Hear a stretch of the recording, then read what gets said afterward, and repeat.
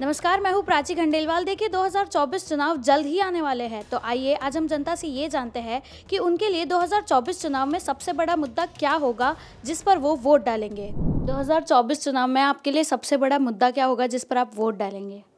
सबसे बड़ा मुद्दा तो विकास का रहेगा, जिसमें मोदी जी ने अब तक बहुत एक्सीलेंट काम किया है। हमारी इकोनॉमी को नंबर फाइव पे ले आए हैं and he guaranteed to bring it to number three उसके बाद फिर नेशनलिस्ट फीलिंग देश को न तोड़ने वाली भावना। विपक्ष में तो सारे देश को तोड़ के और भ्रष्टाचार का सारा पुलिंदा बैठा हुआ है। तो इसलिए मोदी के अलावा कोई और चॉइस बनती, बचती नहीं है।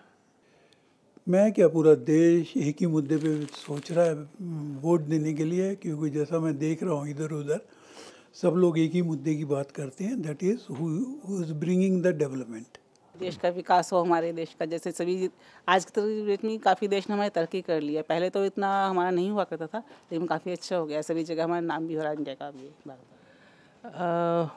विकास पे। विकास पे। और कोई मांग है आपकी सरकार से? नहीं बस यही है कि भी जो भी करप्शन वगैरह है वो ख़त्म हो जाए और लाइफ स्मूथली चलती रहे। मैडम देखिए सबसे बड़ा मुद्दा तो विकास का है। और मोदी सरकार की कि जो 10 साल की उपलब्धियाँ हैं, वो विकास ही है। 2014 में जब सरकार आई थी, तब देश की स्थिति बड़ी लड़खड़ाई हुई थी जीडीपी बहुत गिरी हुई थी और महँगाई बहुत ज़्यादा थी। पिछले 10 सालों में महँगाई एक मध्यम स्तर पर रही है। बीच में 2020 में ज़रूर थोड़ी बहुत बढ़ी थी वो किन्हीं और कारणों से। आज अगर हम देखेंगे तो हमारी जीडीपी की दर लगभग सात परसेंट है, जो दुनिया में सबसे तेज़ है।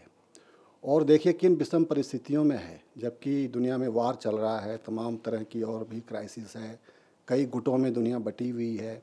अभी डब्ल्यू में देखिए कोई समझौता नहीं हो पाया। तो इन विषम परिस्थितियों में जिस सरकार ने इतनी अच्छी ग्रोथ हमें दी है और इतनी कम महँगाई पे और हर जगह जो देश का नाम हो रहा है, अभी जी ट्वेंटी में जो नाम कमाया और बाकी चीज़ों में जो मोदी सरकार की उपलब्धियाँ हैं, विदेश नीति है हम तो इन्हीं मुद्दों को ध्यान में रखते हुए और इसी प्रकार की सरकार को इसी कंटिन्यूएशन पे हम वोट देना पसंद करेंगे। अच्छा तो आपकी 2024 चुनाव में सरकार से मांग क्या रहेगी? हमारी मांग यही रहेगी कि जिस तरह से सरकार विदेशी मोर्चे पे विदेश नीति में अपनी एक तटस्थता बनाए हुए है और हम जो है रूस के साथ भी अपने संबंध ठीक रखें वेस्टर्न कंट्रीज़ के भी साथ ठीक रखें ताकि हमारे विकास में कोई बाधा ना आने पाए। और हम जितनी तेज़ी से विकास कर पाएँगे उतना हमारी गरीबी बेरोज़गारी और हमारे जो यूथ हैं पैंसठ परसेंट यूथ का देश है उनके लिए काम और उनके लिए तरक्की मिल पाएगी। तो हम इन्हीं चीज़ों को ध्यान में रखते हुए वोट देंगे। मैं जो आ, मेरा जो वोट है वो रहेगा कि हमारा economic development and country development और कंट्री हमारा किस साइड में जा रहा है। तो ये जो दिशाएँ जो पार्टी इसको डिसाइड करेंगी तो मेरा वोट तो उसी साइड पे जाएगा ये। नो डाउट अभी इस साइड में अगर हम जाते हैं तो बीजेपी से जो मोदी जी जो हमारे लिए कर रहे हैं, वो जैसे कि उन्होंने कहा है कि भी इकोनॉमी को वो आगे लेके जा रहे हैं, जो आगे थर्ड इकोनॉमी को भी करने की बात चल रही है।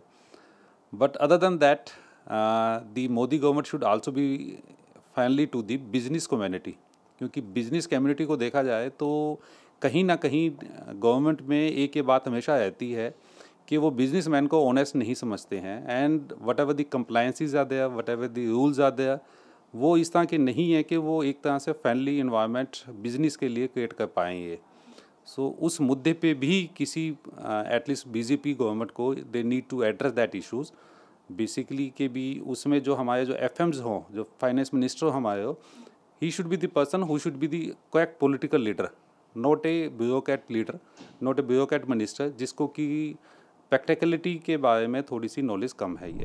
ये तो था सिर्फ़ एक मुद्दा, लेकिन ऐसे ही और मुद्दों पर देश की जनता क्या सोचती है इस बारे में कनेक्ट करने के लिए सब्सक्राइब कीजिए न्यूज़ कनेक्ट